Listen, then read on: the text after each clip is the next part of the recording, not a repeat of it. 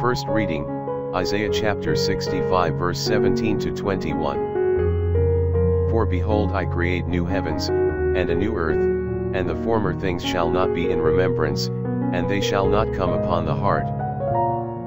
But you shall be glad and rejoice forever in these things, which I create, for behold I create Jerusalem a rejoicing, and the people thereof joy.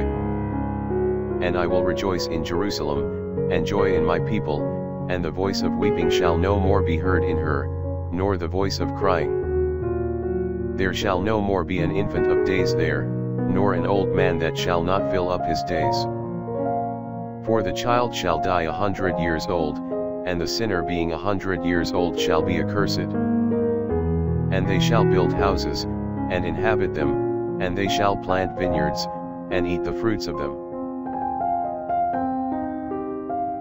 Psalm Psalms chapter 30 verse 2, 4 to 6, 11 to 1 2a and 1 3b. I will extol thee, O Lord, for thou hast upheld me, and hast not made my enemies to rejoice over me. Thou hast brought forth, O Lord, my soul from hell, thou hast saved me from them that go down into the pit.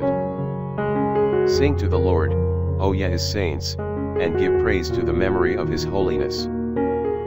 For wrath is in his indignation, and life in his goodwill.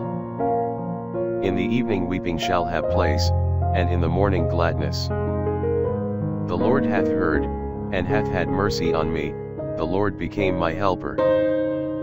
Thou hast turned for me my mourning into joy, thou hast cut my sackcloth, and hast compassed me with gladness. To the end that my glory may sing to thee, and I may not regret, O Lord my God, I will give praise to thee forever. Gospel, John chapter 4 verse 43 to 54. Now after two days, he departed thence, and went into Galilee. For Jesus himself gave testimony that a prophet hath no honor in his own country. And when he was come into Galilee, the Galileans received him, having seen all the things he had done at Jerusalem on the festival day, for they also went to the festival day.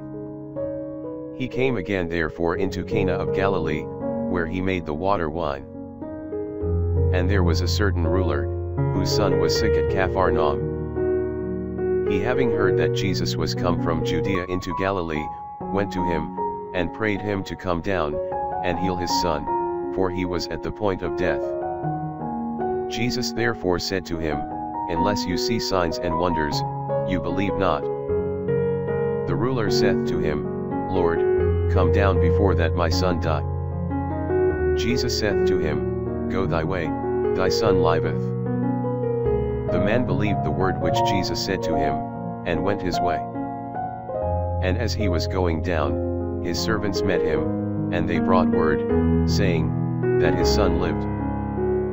He asked therefore of them the hour wherein he grew better. And they said to him, Yesterday, at the seventh hour, the fever left him. The father therefore knew, that it was at the same hour that Jesus said to him, Thy son liveth, and himself believed, and his whole house. This is again the second miracle that Jesus did, when he was come out of Judea into Galilee.